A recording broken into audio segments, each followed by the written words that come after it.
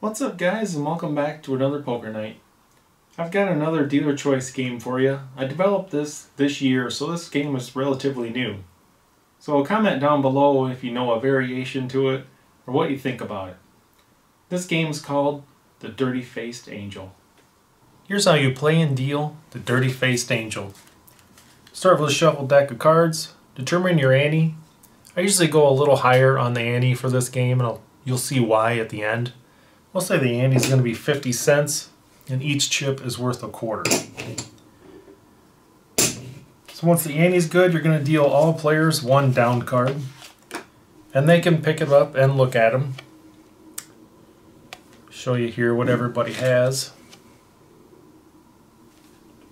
And here's the dealer's card. The betting action on this round is just going to go left of dealer clockwise because there's no up cards. And this player here will just bet a quarter, and the rest of the table is going to call.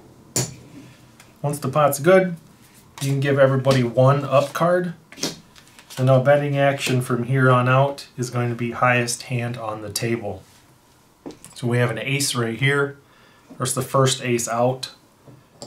And he'll bet a quarter, and the rest of the table is going to call.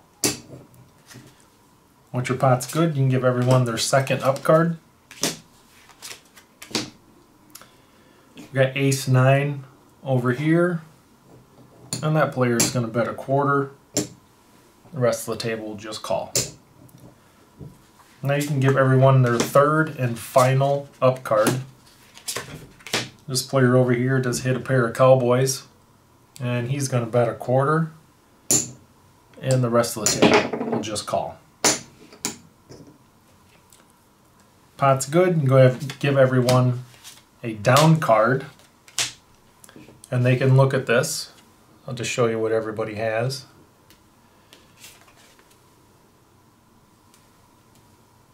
And the dealer. Now this betting round, it will be the same player because no up card was turned, so betting action goes back to this player here. He bets another quarter and everybody's going to call.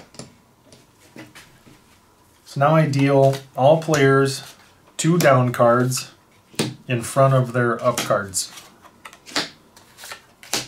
Just like that. Now this is why it's called the Dirty Faced Angel. If you would like, you can buy one of these two cards. Any player can buy one. You can't buy two, and you cannot look at them.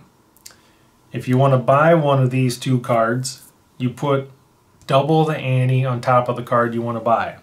So our ante was 50 cents, and to buy the card is going to cost a dollar. So I just have everyone, if they want to buy the card, sometimes people don't buy them, uh, just put your money on top of the card you want to buy.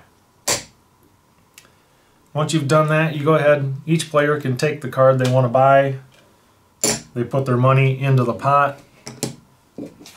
And I have them leave the other down card out in front. I only leave this card here because once the game's over, everyone wants to know, well, what was the card uh, that I could have bought?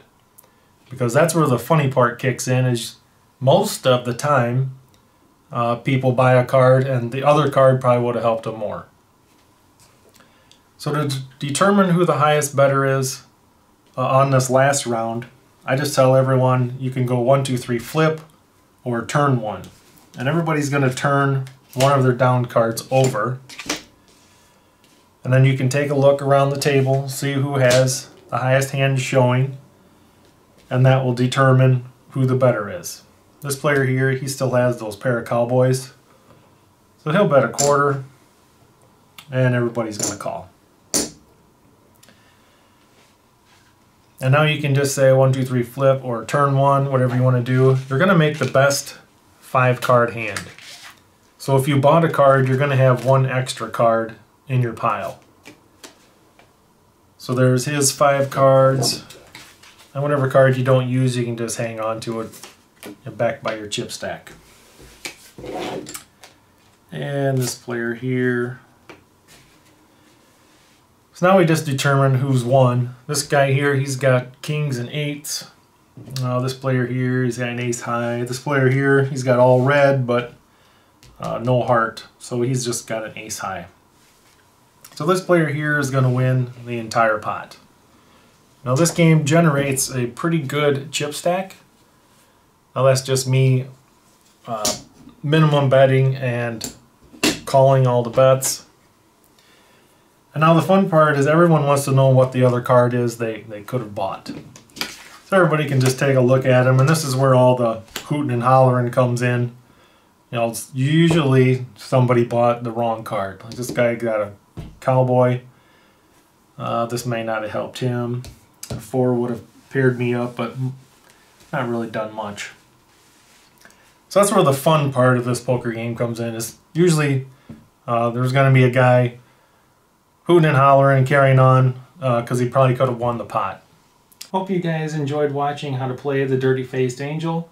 If you guys have another variation to it, or you've changed something about the game, comment down below and let me know how it's going.